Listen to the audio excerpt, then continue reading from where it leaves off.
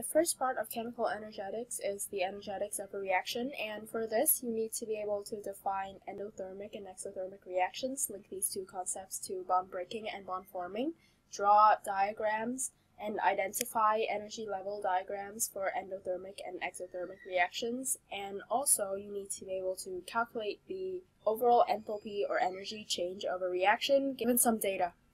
Firstly, we need to define endothermic and exothermic reactions.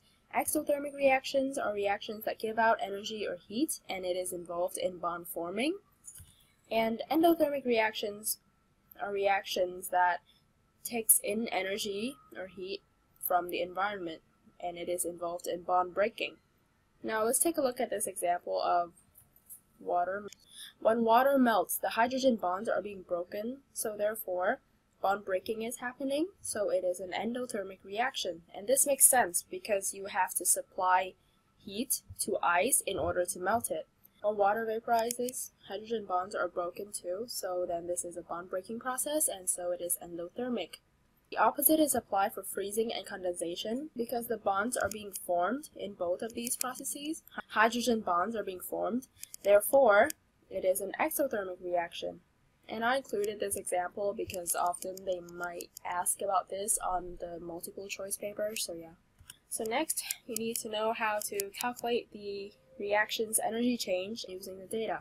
So you would often be given something like this, a reaction, and then some bonds and the energy to break or form those bonds. And then they would ask you to calculate the overall enthalpy change and then determine whether it is endothermic or exothermic. The first thing I would do is to always remember on the left side it will be bond breaking, on the right side it will be bond making. So then you might want to list out all of the bonds that are involved. And then once you've got that, another thing to remember is that when you do these calculations, you're taking it in terms of the energy that the molecules have. So therefore, in a bond breaking process, in the calculation, you're numbers would be positive as energy is being given to the molecules, so the molecules have a positive amount of energy. But in bond making, the molecules are losing energy, so then they have a negative amount of energy. So in your calculation, that would be a negative number. So you get this from that. This is just every number here. So the H, H bond is 436 this one, this. And for this one, as you can see it's negative, but you have to multiply by 2 because there are two of them. And then from here, you just gotta add these things together and you get a negative number for this case. And whenever there is a negative enthalpy change, given that you are calculating the energy in terms of the amount of energy that a molecule has, then the reaction would be exothermic because this negative number means that more energy is being given out in the reaction than it is absorbed into the molecules. So therefore, the molecules at the end of the reaction would have a negative amount of energy compared to the molecules at the start of the reaction. I want to try another example for this, just to, you know, get into the gist of it. So again, first of all, you might want to identify the bond breaking as the left side and the bond making as the right side. And then you identify all the bonds that are involved. Then you list out all the numbers that are involved. Again, bond making would be negative, bond breaking is positive. And then you calculate the overall enthalpy change.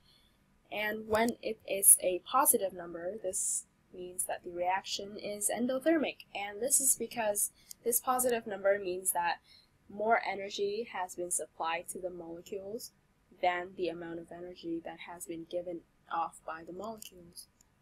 So then after that, you might be asked to draw a energy level diagram. You might be asked to identify it in paper 1, I should think. So this is the energy level diagram for exothermic reactions. As you can see, the reactants have more energy than the products. And this is because energy has been given out to the, to the surroundings, which makes sense. So, in this diagram, I would advise to always do this curve for activation energy, because you would get extra credits for it. And then, it just goes down in a curve like this. Remember to always label the reactants, the products, the overall energy change, which is just the difference in energy between the reactants and the products, and also the activation energy, which is the difference between the highest point in your diagram and the level of the reactants.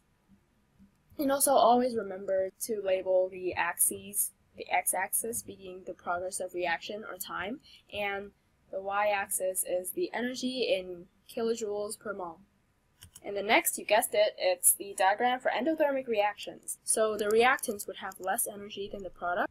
So once again, you need to take a note to label the activation energy and the overall energy change, which again, remember to label the axes and you should be just fine. Now I want to summarize the theory part of this video, but not really the calculations or the graphs because you can only really learn it by practicing. So here. A reaction that gives out energy or heat would be an exothermic reaction. And these reactions are bond forming. And any reaction that takes in energy from the surroundings would be an endothermic reaction. And bond breaking is involved in these reactions. So yeah, that's all for this video. Thank you so much for watching. I hope this has been helpful. And if it did, please leave a like and subscribe for more. And if you have any suggestions or anything, feel free to leave them in the comments.